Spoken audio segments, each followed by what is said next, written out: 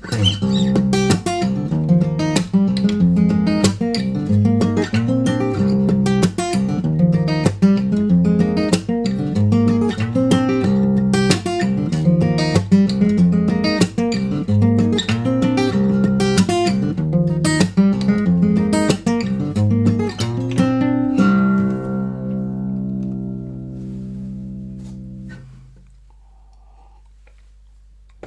So the other day I noticed this short video of John Mayer playing the famous riff for this song called Neon, which became a sort of a meme in the guitar world community because of its difficulty. But here's what John has to say about it. I'm going to show you a tip on how to play my song, Neon. Now, it's a difficult song, but like all songs on the guitar, they're easier than they sound. So he says the riff is easier than it sounds, and I can honestly say that it's really true. I love short videos from guitar heroes like that. Some people make these complicated 50 minute lessons with precise fingerings and tablature and here's the song's writer teaches it in just 47 seconds. I love that. And this is how I learned this riff. I'll try to be as fast as John, though I probably already exceeded the one minute mark. Side note, I'm not a John Mayer expert, this is the only riff of his I ever played. I don't listen to his music much, but I admire the man and I really love this riff, it's so cool. Anyway, so the first thing I noticed was the bass pattern, which is all played with both thumbs, left and right hands. That's unusual and I thought let's start with learning the bass pattern and it goes like this.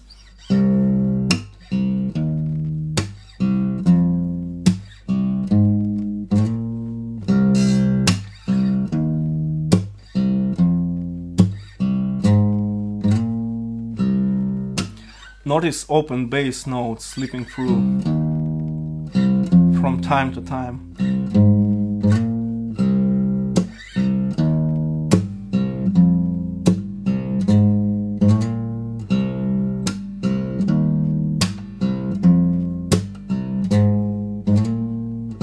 Nothing too hard here, right? Next I noticed that I could use this move, which is basically a false downstroke.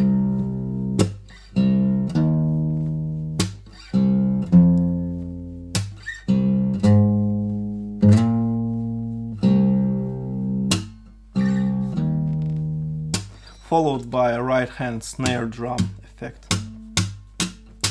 The false downstroke trick rhythm guitar players used when playing slow ballads for instance.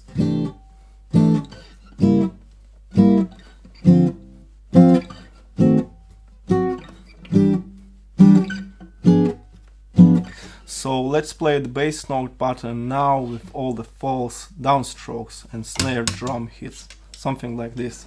Hmm.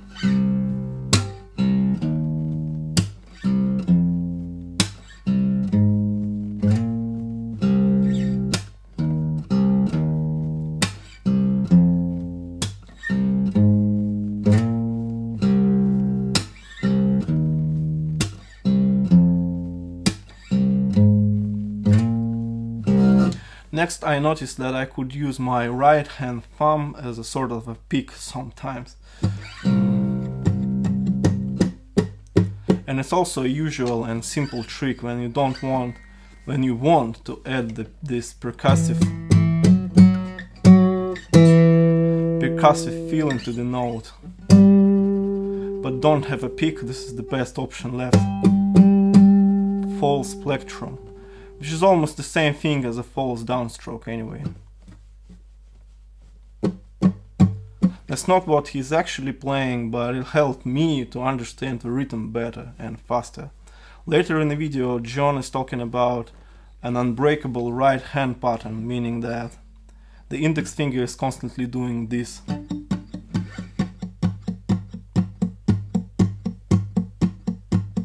And the secret lies in the right hand. It's the thumb and it's the index finger. And they're sort of working like a drum set.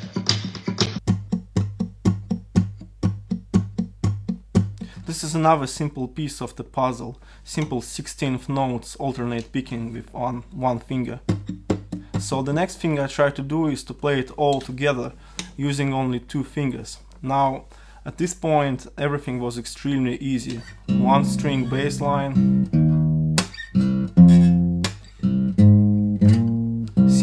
snare drum pattern, simple 16th note picking. What John meant by simple is that this riff was built with simple bricks, but of course, putting it all together is sort of like learning a piano piece. Two hands need to learn completely different things. Oh, and by the way, now I'll play this thing really fast and check this out how it already sounds like this famous riff.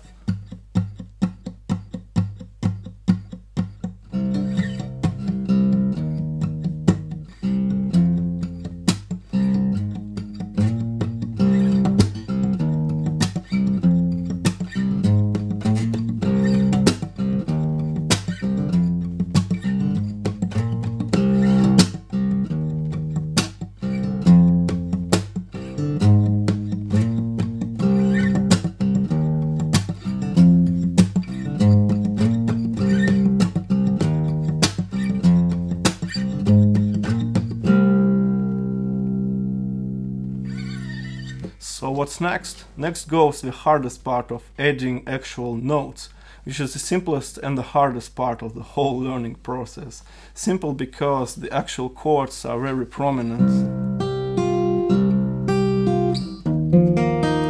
It's just one acoustic guitar anyway, so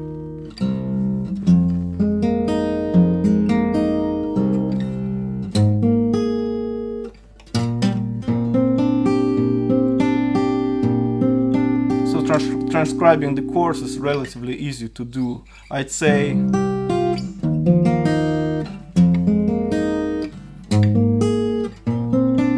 if you can hear the notes of the chords, maybe learning a song like this is getting a bit ahead of yourself in my opinion.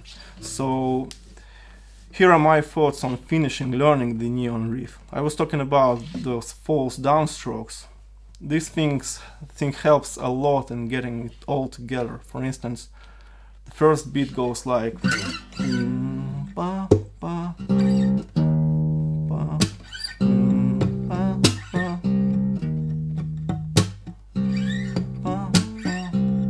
because the riff is so voice-like, you can sing the riff. I could I could sing it if I had a lower voice, but anyway because you can sing the riff, you can use it as a tool to learn how to play it. I mean, this note goes after which beat. The first melody note goes before the snare.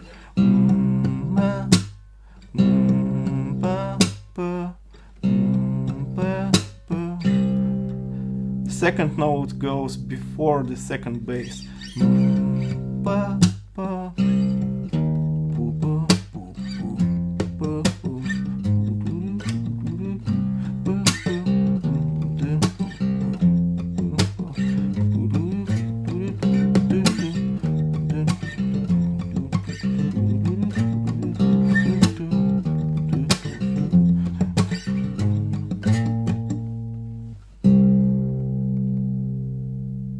So on. And bit by bit, step by step, carefully listen to the melody and compare it to the rhythm pattern. This is very hard to do, but absolutely doable. Even with my 15 years amateur, but playing still, it took me the whole hour to learn these things. So don't expect expect it, expect it to happen instantly. The last thing is to add the connecting notes that connect all the parts together, like here.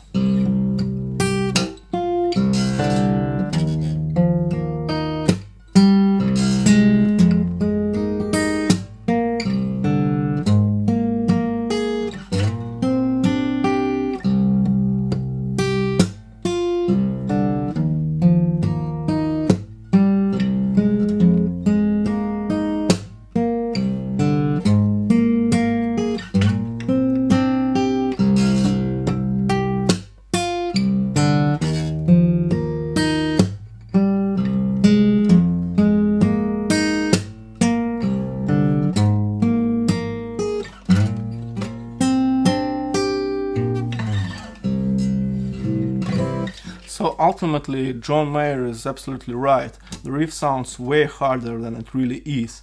It consists of many simple tricks and things you can learn and practice separately and then throw it all together in a mix. I never thought that I'd sit down to learn this song, but I love these short lessons, they're amazing. It's like Mark Knopfler discussing the Money for Nothing riff for less than a minute.